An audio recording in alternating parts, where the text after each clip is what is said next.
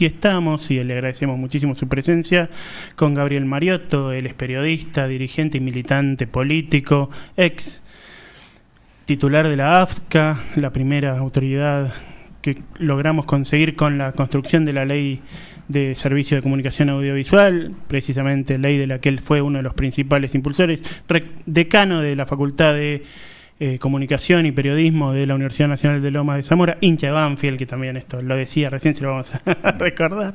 Y te queremos agradecer muchísimo, Gabriel, y ex tu Gobernador. Y ex vicegobernador, lo hemos dicho, pero lo reiteramos. Gracias, querido. Gracias, José. Muchas gracias. Un placer. Eh, y aparte, en las instalaciones de esta hermosa radio rebelde que hacía mucho.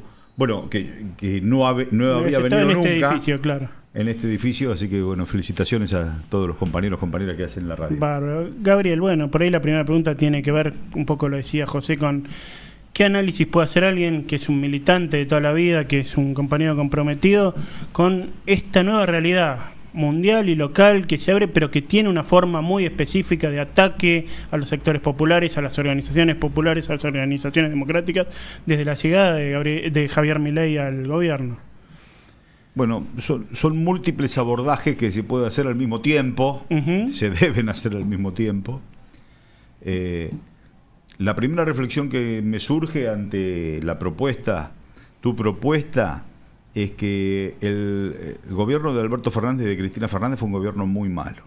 El gobierno de Macri eh, fue un gobierno horrible, previsiblemente horrible el de Fernández y Cristina, no tan previsiblemente horrible, pero fue muy, muy malo. Lo que no avala que Milei haga las cosas 100 veces peor que ambos gobiernos malos, cosa que las está haciendo. A diferencia de los gobiernos anteriores, de estos dos por lo pronto, Milei no se equivoca en su acción, no le sale el tiro por la culata, quiere hacer una cosa y hace otra, sino que estableció un rumbo y lo está aplicando salvajemente. Yo el otro día dije el energúmeno del presidente. Bueno, creo que tiene actitudes de energúmeno y lleva a la Argentina colonial con una sonrisa. Lleva a la Argentina que pretendió llevar, para hablar de la última mitad del siglo pasado, desde la Revolución Libertadora, pasando por Onganía Krieger Bacena, pasando por eh, Videla Martínez Dios, por Menem Caballo, por De la Rúa Caballo y por Mauricio Macri, lo quiere llevar, pero sin escala y en una forma absolutamente abrupta. Eh, creo que no está hoy advertida en la decisión de Javier Milei que va a haber resistencia. Porque si bien los medios de comunicación, que es el hábitat natural donde se creó este monstruo. Entre paréntesis, se puede jugar con la figura, el, monopolio, que alimentó un leoncito en el baño. Cuando quiere ir a hacer sus necesidades, el leoncito no lo va a dejar, porque ya creció. Este, es el problema que está teniendo el monopolio Clarín con Elon Musk, por ejemplo.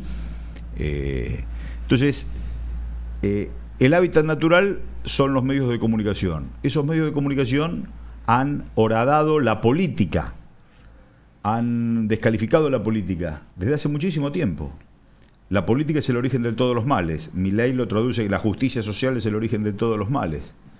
Eh, pero ahora esa no política abandonada por los gobiernos nacionales y populares,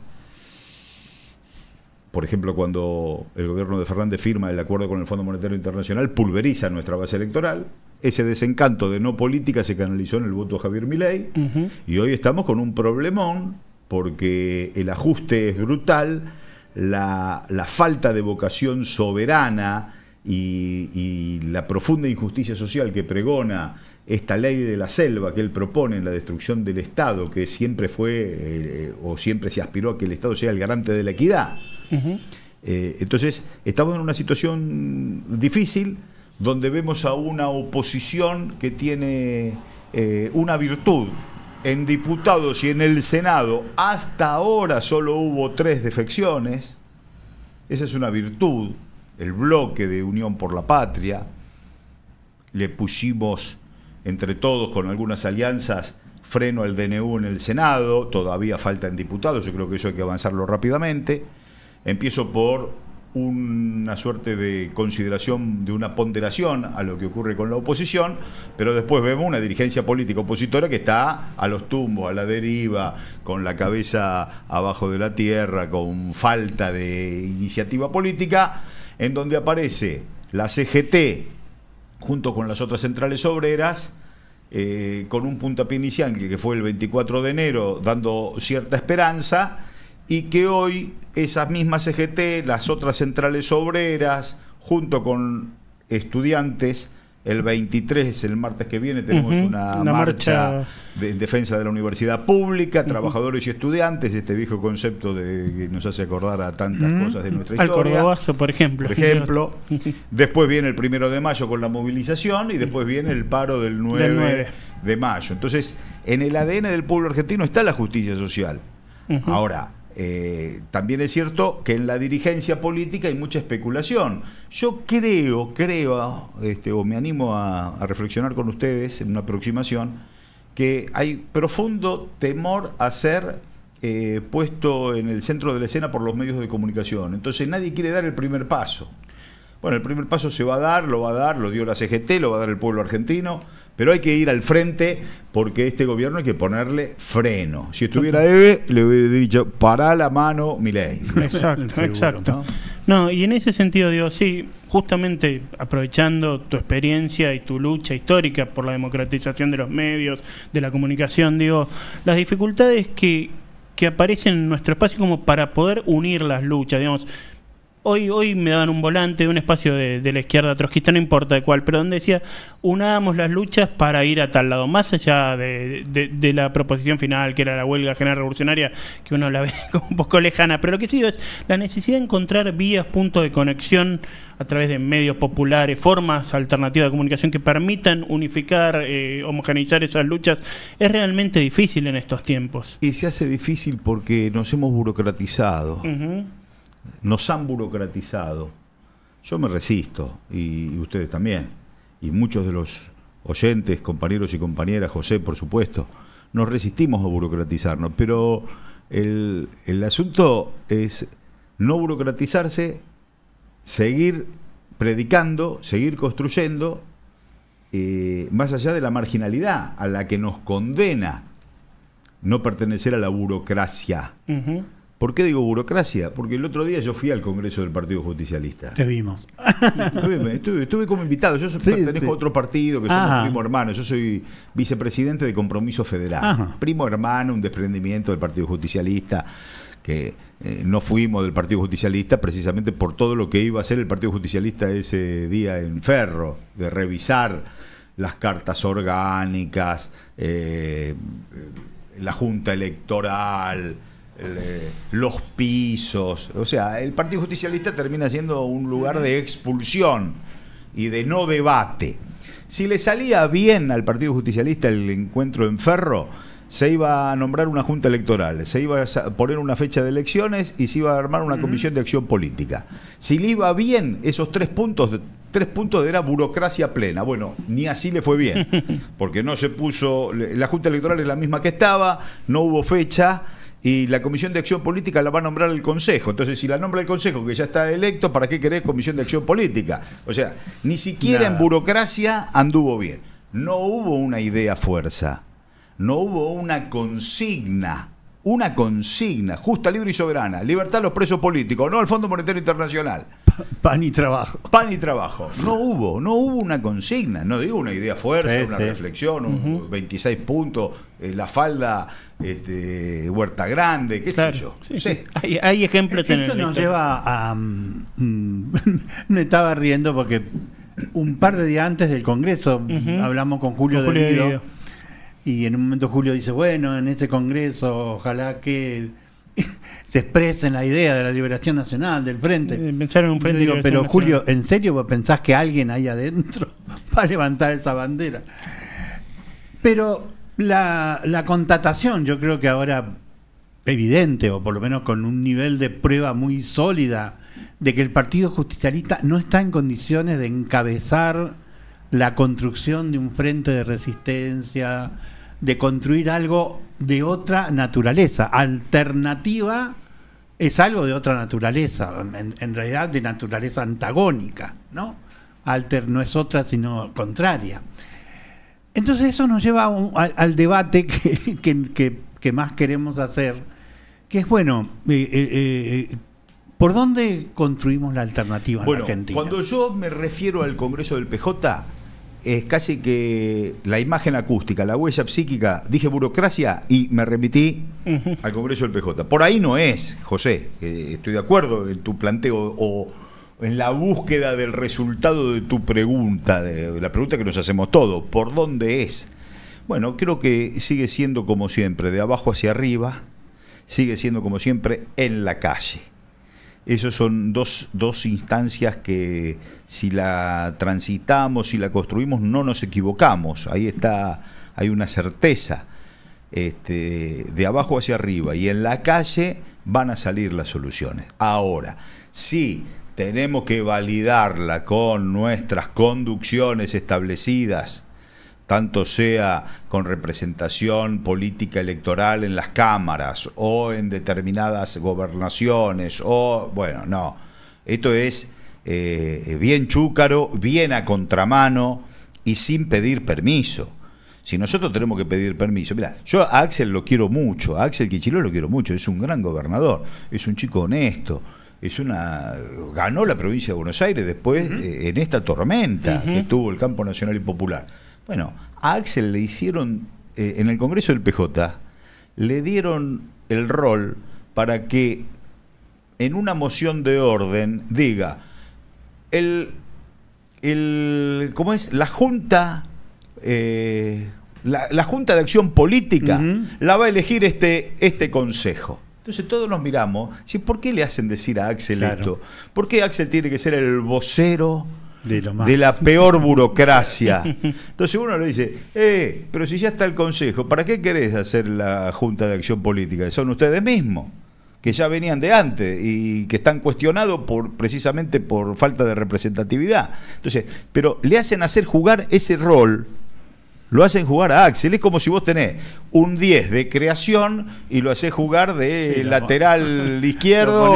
a, pegar patada. A pegar patada y no, no crucé la mitad de la cancha. Entonces, eh, eh, la eh, burocracia es terrible. Pero a la militancia, ¿qué nos pasa? Yo veo en la militancia este, un temor reverencial a ¿Y qué dice Cristina? ¿Y qué dice Máximo? ¿Y qué dice Axel? ¿Y qué dicen? ¿Y qué dicen? ¿Y qué dicen? Y no sé lo que dice. Nosotros hagamos lo, posible para que digan lo que nosotros queremos. construir una agenda, ¿no? En ese sentido, lo, lo, de la marcha en defensa de la educación pública, este eh, me parece que puede ser una convocatoria realmente fuerte, ¿no? de, instalar un nivel de agenda de necesidades populares, de, exigencias populares ajenas a por ahí los intereses de Palacio, de los partidos, de los espacios tradicionales. Yo le tengo mucha esperanza a esa marcha, precisamente porque va a estar llena de hombres y mujeres, estudiantes de toda la patria que tienen en su ADN la lucha, la resistencia, este, y eh, que a los rectores no les va a quedar más remedio que salir a pelear. Sí, sí, Incluso, bueno, nosotros venimos eh, construyendo una corriente antiimperialista de derechos humanos, que, es la que sostiene este programa, que, incluso tiene anclaje en Estados Unidos, San Francisco, con el gremio abogados, México, Venezuela, Colombia. Y los compañeros nunca terminan de entender la Argentina, ¿no? Pensaban que, que nunca se iba a perder. Y ahora miran la Argentina con, ¿pero cómo puede ser? Ganó mi ley, les rompe la cabeza ya hubo un paro, va a haber otro, va a haber otra marcha, y uno le dice, bueno, pero a pesar de eso no, no, no, va a caer mi ley. Este, entonces, eh, yo creo que, que vos planteaste mm, creo que es el problema a, volver a discutir que, que muchas veces se tocó, que es, bueno, ¿cuál es la relación entre el poder popular, la autonomía de, la gente en las empresas, en la calle, en las facultades y eh, las conducciones realmente existentes, ¿no? Es decir, yo veo mm, con mucha preocupación que hay una figura como Cristina Kirchner que se autopropone y ocupa el lugar del hegemón, o sea, de, de hegemonía, pero que no ejerce ese rol. Es decir, yo no tendría ningún problema si Cristina o, Axel o, o Juan o Gabriel se ubican en un lugar de conducción y conducen. Para mí el gran drama es que en la Argentina está obturada la discusión sobre la hegemonía y nadie ejerce esa hegemonía. Entonces bueno, por eso yo creo que a la conducción, en este caso hablando de Cristina, a la conducción se la ayuda proponiendo, no se la ayuda obedeciendo. El peronismo es vertical. Bueno, pero es una verticalidad de arriba hacia abajo y de abajo hacia arriba. Es dinámica. No, pero es dinámica, yo la entiendo así. Termina en una verdad de esas 20. El gobierno hace lo que el pueblo quiere, pero es dinámica. No, eh, eh, no es de, arriba hacia abajo. ¿Qué, ¿Y qué puedo pensar? Así nos ayudamos a nuestra conducción.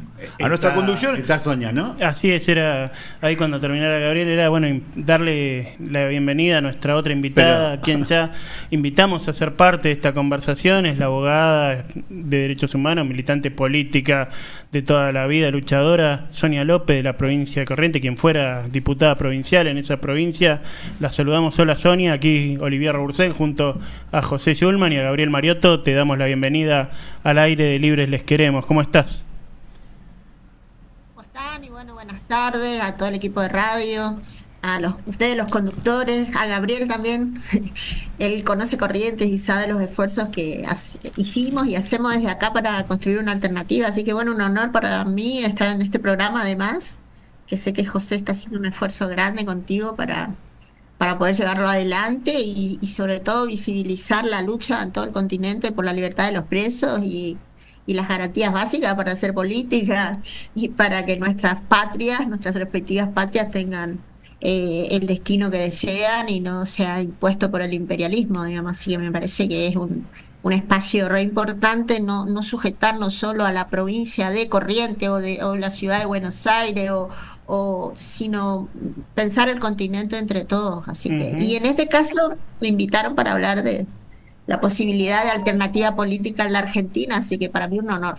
Totalmente. Lo que estábamos hablando con Gabriel es de que la dinámica entre el arriba y el abajo, la construcción de poder popular y las conducciones, este, no, bueno, es bastante obvio que en el último periodo de gobierno el, el movimiento popular tuvo escasa y nula incidencia en las decisiones del gobierno. ¿Cómo se vio eso en una provincia como Corrientes? Que, no dirigió el peronismo ni, ni el frente.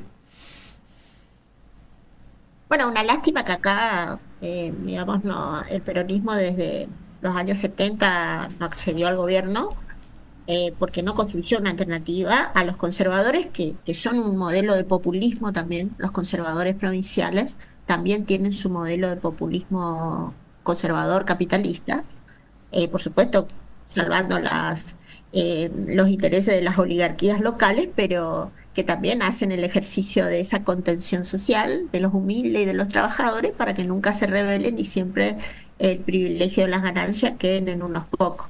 A mí lo que me preocupa es el país, no solo Corrientes.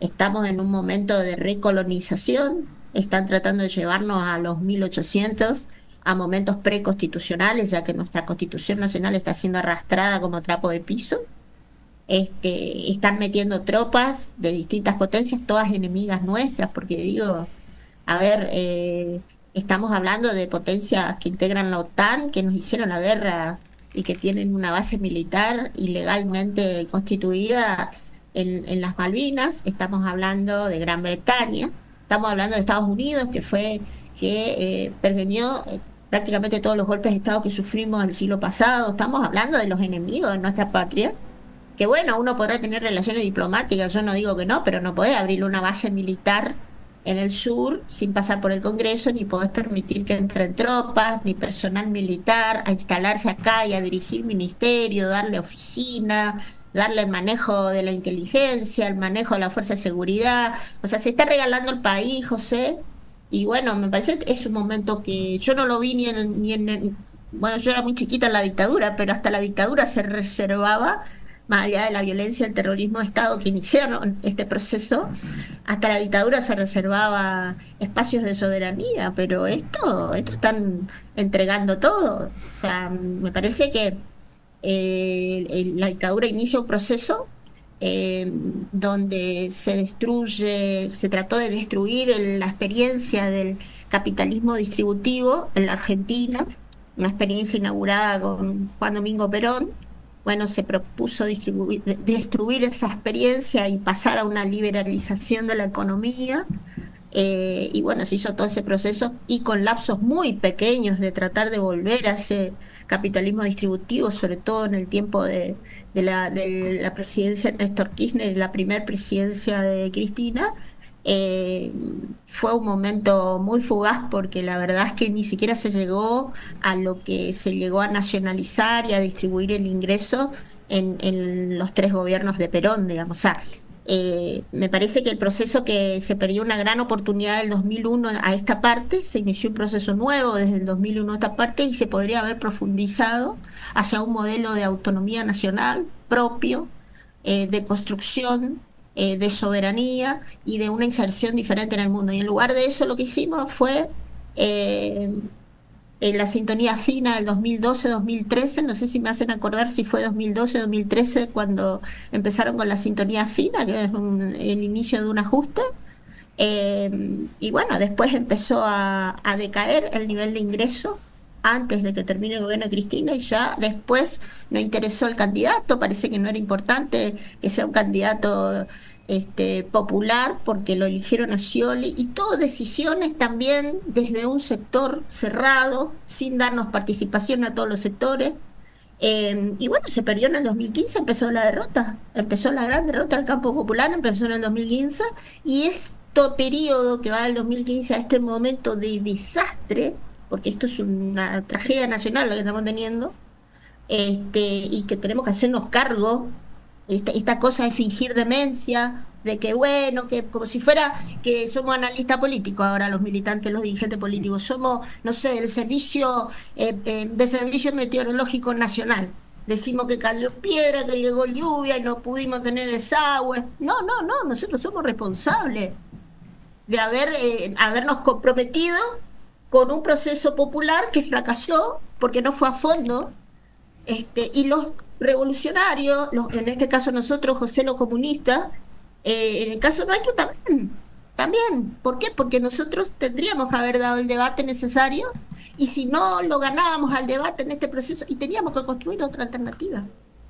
Una, una pregunta para, para Gabriel de lo que dice Sonia.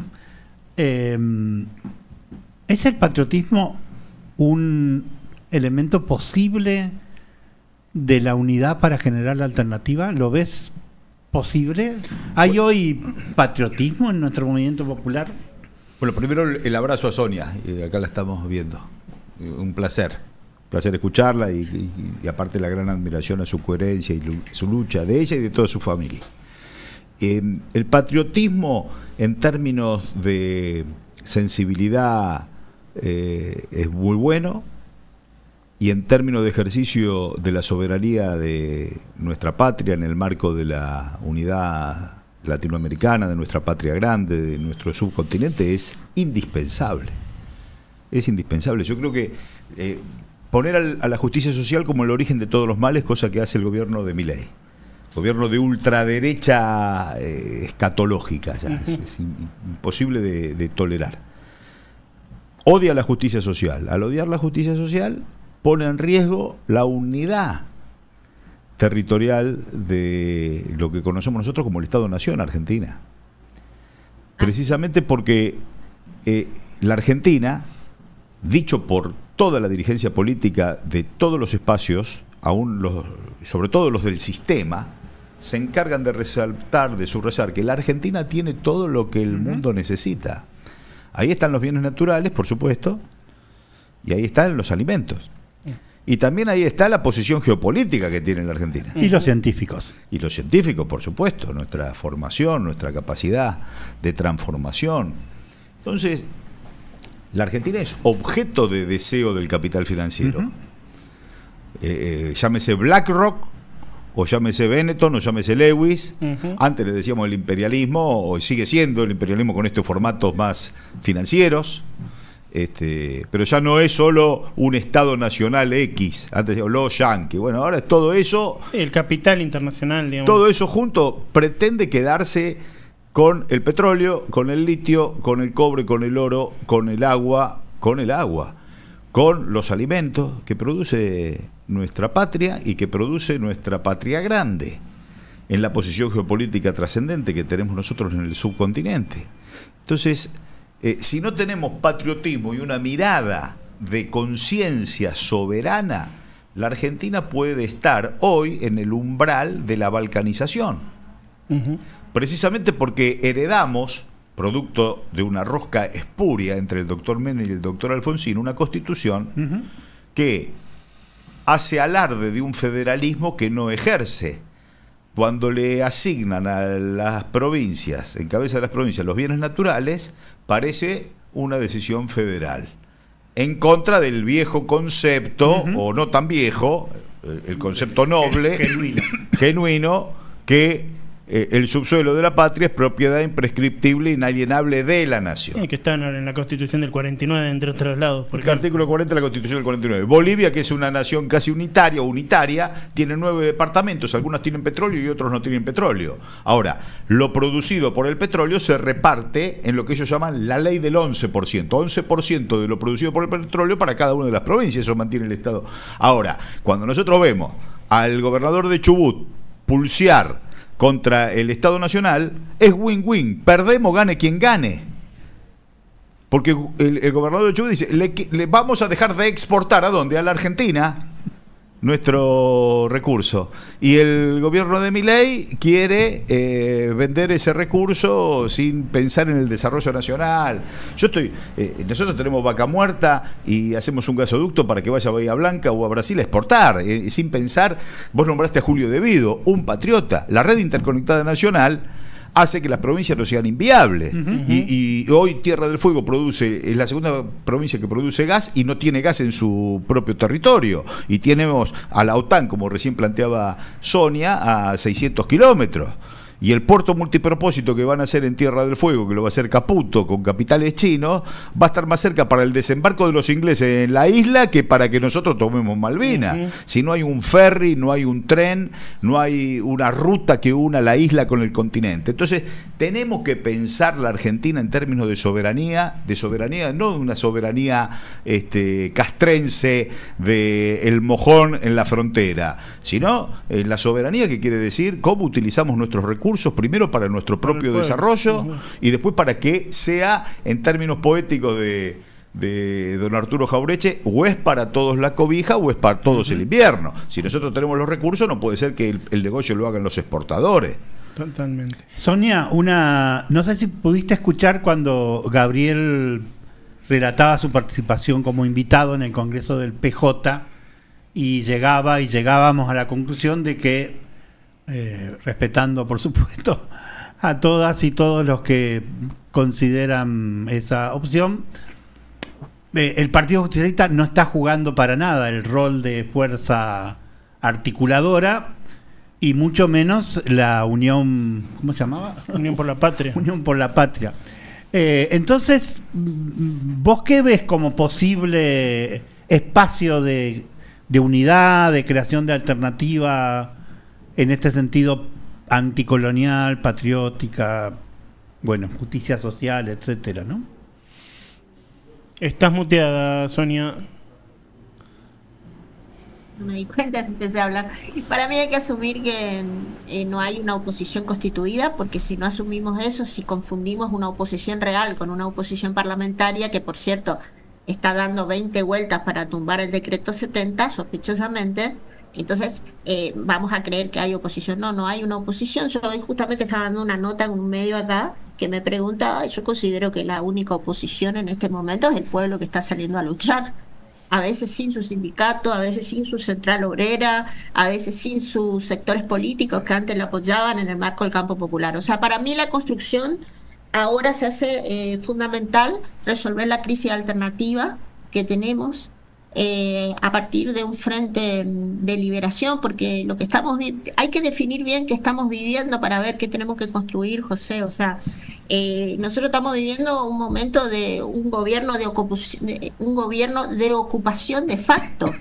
Porque si bien el presidente fue elegido democráticamente, está ejerciendo él eh, un proceso de ocupación imperial de facto, porque ninguna autoridad eh, que le corresponde decidir esa cosa está decidiendo nada. O sea, nosotros estamos en un proceso donde necesitamos una herramienta política sumamente disruptiva, realmente popular y con el concepto de Frente de Liberación Nacional y Social, que es una categoría que nosotros la venimos manejando históricamente desde el Partido Comunista como una estrategia pero que hoy se hace como se presenta como una necesidad táctica, que por supuesto su desarrollo tiene que ver con el crecimiento del poder popular, porque hoy vos ves a los jubilados movilizados incluso sin sus asambleas, sin sus organizaciones, este, pero vos le ves toda la semana a los jubilados movilizados, ¿por qué? Y porque ya no le alcanza para comer y comprar los remedios, o sea, ya hay situaciones de hecho de desesperación que está eh, generando un nuevo sujeto. Y si vos tenés organizaciones sociales que hoy prefieren dialogar este, con, eh, con este gobierno, como lo hicieron eh, en los tiempos de Macri, y ver cuánto, cuánto se puede rescatar de ese diálogo, en lugar de sumarse a los jubilados y de sumarse a los trabajadores de pedido, y bueno, de algún modo acá está funcionando una protección al proyecto de mi ley. O sea, acá no es que es casualidad la gente quiere salir a luchar y no tiene sus organizaciones que se ponen al frente. Entonces, ¿qué hay que hacer? Y formar otras organizaciones, José. Este es un momento de formar otras organizaciones. O sea, yo no me puedo poner a analizar y seguramente que Gabriel, justo esa parte no escuché porque llegué un poquito más tarde, eh, Gabriel va a saber más porque sabe las idas y venidas en el marco de su partido y con el dolor lo habrá contado, pero todos sabemos que el justicialismo está agazapado esperando un mejor momento y dejando que el pueblo se enfrente solo a esta situación para después presentarse, ellos y los otros también, ¿eh? los radicales, todos los otros sectores, eh, eh, esperando que se vaya todo al demonio y después presentarse como el Chapulín Colorado, acá somos la, acá somos la solución. ¿Por qué? Porque hay un proyecto que tiene una hilación, que es el endeudamiento macrista, que inició el ajuste, y un plan de pago impagable la legitimación del acuerdo con el Fondo Monetario que hizo Alberto Fernández, el, el presidente del Frente de Todo, digamos, el presidente nacido de la coalición que casi todos los sectores del campo popular integramos, que prometió que no se iba a pagar al fondo con el hambre del pueblo, que prometió neoliberalismo nunca más y terminó haciendo un acuerdo con el fondo en marzo del 2022. Entonces, eh, ¿qué hizo? Legitimó la deuda, hizo, eh, ratificó el plan de pago acordado por Macri, que es de mecha corta, y eso es lo que se sigue haciendo ahora, porque ahora mi ley continúa ese acuerdo que hizo Alberto. O sea, acá hay distintas perfiles de un mismo proyecto que es la recolonización del país a través del endeudamiento del Fondo Monetario Internacional y de la fuerte presencia de la Embajada norteamericana como eh, como cabecera de playa junto con sus aliados en decadencia a nivel internacional, como es el Estado de Israel y bueno, y el Reino Unido. Eh, entonces, em, estamos parados en el peor espacio internacional porque sabemos que está creciendo el multilateralismo, está creciendo la posibilidad de otros polos de desarrollo a través del BRICS. Este, y bueno, y nosotros nos atamos a un imperio en decadencia. Esa es la primera cuestión. Y la segunda cuestión, yo coincido totalmente con Gabriel, eh, nuestra integridad territorial, por ende nuestra existencia como nación está en riesgo y tenemos al único partido Estado que existe en la Argentina, que es el Partido Justicialista, callado esperando un nuevo momento. ¿Y eso qué es? Y eso es protección de este proyecto. Es eso. Salvando, por supuesto, la autoridad de tantos dirigentes y tantos compañeros del campo popular con, la identidad peronista con quienes vamos a marchar siempre en la lucha, pero con todos ellos y con todos aquellos que, que quieran terminar con esta locura que tiene la Argentina de que se intenta un proyecto popular, después se decae, después se concilia y después es reprimida a la gente que quedó este, esperanzada con que ese proceso funcione. Nosotros somos la revolución fracasada y ustedes saben que después de una revolución, la revolución del ingreso, digo, que tuvimos en esos 12 años, este, y fue una revolución que no llegó a término, por ende fracasó, porque ya se empezó con la sintonía fina y después con las candidaturas de derecha, de Scioli, después de Alberto Fernández, después de Massa, después ya no sé qué candidatura me iban a poner, porque llegó al extremo de poner al candidato de la embajada norteamericana y que todos tuvimos que votarle, porque se hizo un compromiso ahí. O sea, nosotros tuvimos que cumplir todos los compromisos. Ahora, la pregunta es, ¿fue justo eso? ¿Sirvió eso para ganarle a la derecha? Y no, porque era una propuesta de derecha. ¿Cómo le va a ganar la derecha con una propuesta de derecha? Así que me parece que nosotros no tenemos que hacer un análisis psicológico de qué le pasa al PJ eh, o qué le pasa a los otros partidos de las coaliciones periodistas que se arman, sino nosotros como comunistas, eh, Gabriel como militante popular, este, con tradición peronista, y todos aquellos que tienen una tradición de construcción en el campo popular, construir una alternativa de liberación que tenga capacidad de bajada electoral, es decir, de presencia electoral, de construir herramientas electorales que puedan ser competitivas, pero que tenga eh, como estrategia principal la liberación de la patria este, y, la conformación y organización del campo popular, no dejar solo a ningún movimiento popular que lucha por su supervivencia y por la emancipación eh, de nuestro país y de su sector del trabajo y de su sector de producción. Así que me parece que ese es nuestro desafío. Eh, y para eso tenemos que todos tener un balance político de este periodo del 2001 a esta parte. Indudablemente cada sector hará su autocrítica, pero como campo popular eh, no, no se trata de rasgarnos la vestidura, pero tampoco caer en lo que se cayó. Eh, no sé si recuerda Gabriel que después del 2015 decía, este no es tiempo de autocrítica, porque eso divide. Eh, no discutamos esas cosas ahora que gobierna Macri, porque eso va a dividir algo. Después, bueno, había que ponerlo Alberto porque había que ganar la Macri, y bueno, ¿quién decidió eso? Y bueno, y había que hacer eso y después resulta que terminamos haciendo todo lo que quiso Macri con el Fondo Monetario. Entonces, basta también de ese posibilismo, ¿no? En esa línea, Sonia, eh, por supuesto, la ausencia de autocrítica ya es alarmante, pero tan alarmante como la ausencia de propuesta. Porque a una cosa se le suma a la otra. Fuimos a la elección del 15 sin programa, fuimos a la elección del 19 que ganamos sin programa. Y fuimos a esta elección sin programa. Nosotros somos mucho más que un antimacrismo o anti-miley libertarios o como se llame esto.